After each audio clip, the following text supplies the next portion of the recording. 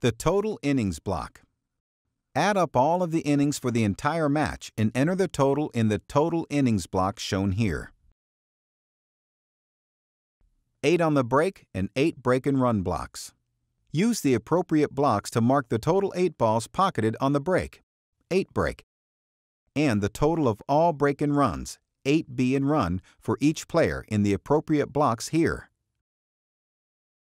The defensive shots block. Intentionally missed shots are indicated in the defensive shots block.